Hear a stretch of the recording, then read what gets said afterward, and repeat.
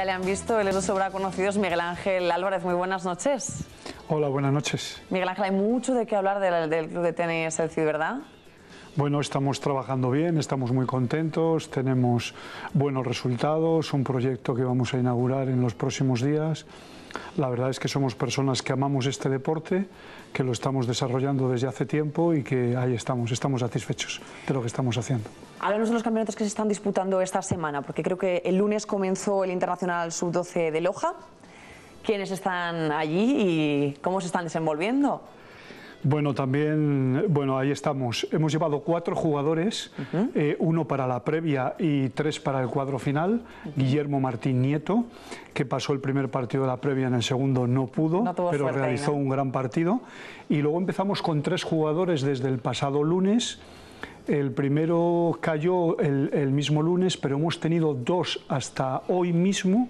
Alejandro García, que ha perdido en cuartos de final, un gran resultado.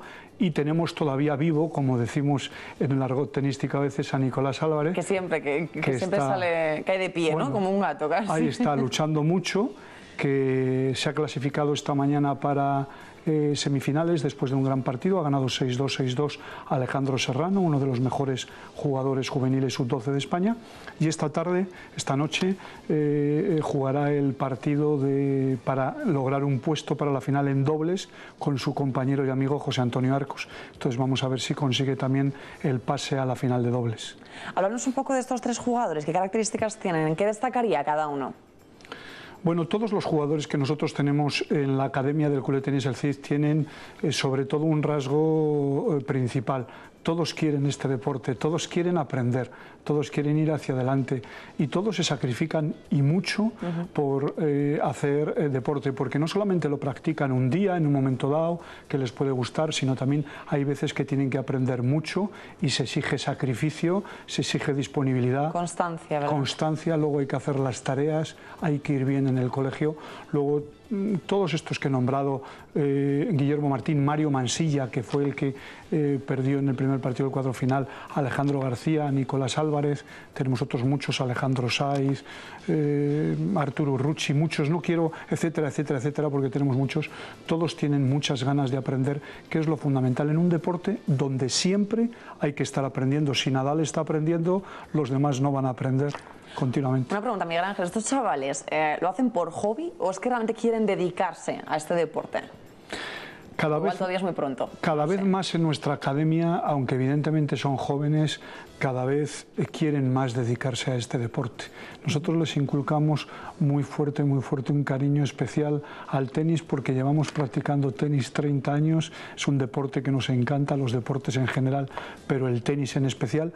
Y hay muchos que el día de mañana eh, quieren ser tenistas. Es un camino complicado es un camino difícil, pero evidentemente los tenistas que tenemos hoy en día, Nadal, Ferrer, Verdasco, Bautista, Feliciano, todos no son extraterrestres, son de aquí, son de España, entonces por tanto los chavales que se dediquen a ello y no pierdan nunca la ilusión por aprender tendrán posibilidades de, poder llegar arriba. Pues Miguel Ángel, a veces se, habla de la juventud de hoy en día, de que estos niños que no hacen deporte, que no son constantes, que no tienen poder de sacrificio. Yo veo todo lo contrario. Yo veo a unos chavales que cada vez aman más el deporte y que a veces buscan más una salida ya no profesional, sino bueno, compaginar, ¿no? Compaginar igual los estudios con, con el deporte. Cada vez hay, hay, más chavales que dicen, no, mira, no voy a salir y sí, voy a practicar. Sí, yo creo que, que, eso, bueno, se dice por ahí, pero nosotros estamos comprobando día a día lo que comentas, ¿no? Es decir, estos chicos son unos chicos disciplinados, son unos chicos ordenados. No se puede hoy en día practicar deporte de un cierto nivel si no llevas tu vida con un poco de, rigurosidad. ¿no? Y estos chicos saben aprovechar el tiempo, saben entrenar, saben estudiar, saben divertirse, pero diríamos malgastan menos que la media su tiempo libre, saben aprovechar el tiempo, en definitiva. ¿no? Y eso eh, lo da en este caso el deporte que inculca muchos valores que valen para la vida de cualquier persona. Miguel Ángel, la prueba es que les ha ido muy bien en el Internacional Sub-12, teniendo en cuenta que había jugadores de 10 países diferentes, me imagino que el nivel ha sido más que, alto, ¿no? Sí, han venido jugadores de Rusia, de Polonia, de Francia, de India, de un montón de países, de Italia, hasta 10 y lo que demuestra esto una vez más es que el nivel del tenis español en general y ahora mismo estamos hablando del tenis juvenil sub-12, en este caso burgalés también. Sí, eh, está a un alto nivel. Nosotros ahora mismo ya somos conocidos a nivel de Castilla y León, por supuesto. Somos campeones por equipos, en alevín, en infantil y el nombre de nuestros chicos y el nombre del Club de Tenis El Cid también es conocido en España y fuera de España. Poco a poco, con mucha humildad, porque nunca, nunca hay que creerse nada, siempre hay que ser humilde para seguir aprendiendo y mejorando, pero evidentemente cada día estamos más reconocidos. ¿sí? Miguel Ángel, y de equipos quería hablar yo porque esta semana también se está disputando otro torneo que será el Campeonato de España Infantil en Barcelona, ¿verdad? ¿Qué nos puedes decir? Bueno, puedo decir que esta tarde nos, eh, vamos, hemos terminado la comida eh, con una noticia bonita, satisfactoria, que nos ha hecho ilusionarnos de nuevo. Es que en el primer partido perdimos, diríamos, en el cuadro final, después de una intensa lucha con el club catalán de La Yeta por tres victorias a uno. Estuvimos ahí de ganar el segundo partido y ponernos 2-0, pero no pudo ser. Y esta tarde en el primer partido de consolación hemos ganado al Club de Tenis Lérida por tres victorias a una. Entonces hemos pasado a semifinales de consolación. Los chicos están muy contentos, el capitán también, todos los familiares que tenemos allí, que son bastantes, también muy satisfechos, y a seguir luchando mañana más, porque el tenis cada día es una aventura nueva. Ha sido Miguel Fuentes el capitán, ¿no? Que estaba un poco al frente del equipo. Miguel Fuentes, Miguel Fuentes. ¿Y qué jugadores han podido disputar este torneo? Bueno, y todavía están en ello, aunque sea con, la fase de consolación, por así decirlo. Tenemos cinco jugadores, Guillermo Ibáñez Prieto, tenemos también a Mario Esteban López Matamala, a Julián López Raz, tenemos a Silvio Laudano Trucci y también tenemos a Afonso Vaz, un equipo compacto, un equipo bueno, muy unido, porque es importante. La competición por equipos es muy bonita porque hace unirse más a los jugadores. El tenis es un deporte individual, siempre estás luchando contra otros, tú solo, y la competición por equipos es lo bonito que tiene, que, a los chavales les gusta mucho eso porque hacen piña, hacen equipo y todos trabajan por un mismo objetivo, por una misma meta. Y mm, cuéntanos cuál ha sido también el nivel de este campeonato.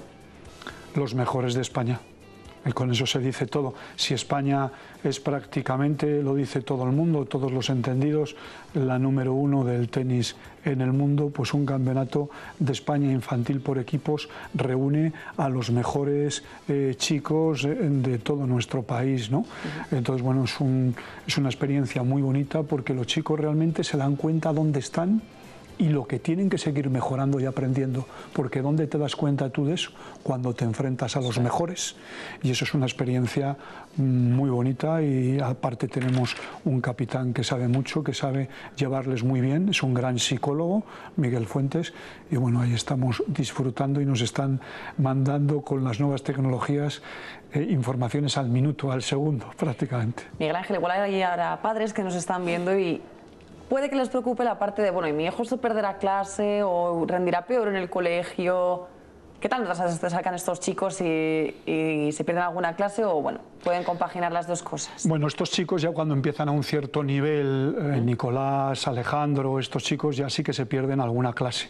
Pero nosotros cada vez estamos viendo más eh, feeling, diríamos, con las, eh, los directivos y, los profesores de los diferentes colegios e institutos. Se dan cuenta de que tienen que ayudar, de que como se hace en Estados Unidos y en otros países avanzados, hay que poder compaginar los estudios y el deporte y que no se puede cortar o dificultar la formación deportiva de unos chicos que lo están dando todo. ¿no? Ya que las becas aquí son complicadas, que hay en Estados Unidos sí, que es más... más Nosotros ahora vamos a trabajar mucho en ese tema porque con el nuevo proyecto nos queremos eh, poner en contacto con la Dirección Provincial de Educación, con algunos institutos, con la Junta de Castilla y León y tratar de poder compaginar de una forma oficial ya perfectamente la formación formación, como digo, académica y deportiva de estos chicos, como acaban de hacer, según nos acaban de pasar la información unos amigos nuestros en el gobierno de Aragón, que acaban de eh, aprobar un acuerdo para facilitar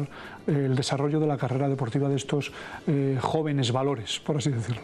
Miguel Ángel, le hablas de ese nuevo proyecto. ¿Qué otros objetivos os habéis marcado más allá de intentar compatibilizar o conseguir becas para estos chavales? Formar jugadores. Formar jugadores en este precioso deporte y que ya ese mito que había hace unos años que ya está cayendo de que solamente para poder ser jugador de tenis hay que ir a Madrid, a Valencia, a Cataluña, que mm, nos demos cuenta de que en Burgos, en provincias, en esta capital nuestra, en esta provincia querida nuestra, pues trabajando con rigurosidad, con profesionalidad, con cariño, se pueden sacar jugadores y ahí nos remitimos al hecho que ha sucedido por primera vez con Nicolás Álvarez, que hemos tenido un chico que duerme, por así decirlo, que estudia, que come, que entrena aquí. Y es la primera vez que hemos conseguido que uno de los nuestros eh, sea, campeón de España, porque hemos tenido otros campeones de España, como ha sido el caso de David Pérez, Burgales también, pero ya entrenaba fuera, diríamos, de Burgos cuando ha conseguido sus campeonatos de España. Además tiene que ser positivo para ellos, ¿no? Tener ese refuerzo de los familiares y los amigos con ellos, porque eso de tener que viajar y irse a otra ciudad y estar solo tan pequeño. Sí, lo que pasaba antes es que era una especie un poquito de lotería, ¿no? Chavales relativamente jóvenes que tuvieran que abandonar su casa, su familia. Yo conozco algún caso, un jugador de baloncesto con 14 años ya dejó de vivir con su familia y son, y, coger, y coger la mochila, son bebés, como dices, y puede salir bien, pero muchas veces salía mal, porque después de entrenar lo que quiere el jugador y de, esforzarse tanto es estar en su casa, un poco el refugio de su padre, de su madre, de su familia arropado. Y eso es lo que nosotros estamos buscando con este proyecto que pronto vamos a presentar a todo Burgos y a los medios de comunicación. Miguel Ángel, ¿qué tendrían que hacer los chavales para formar parte de este club de tenis, del club de tenis El CIR?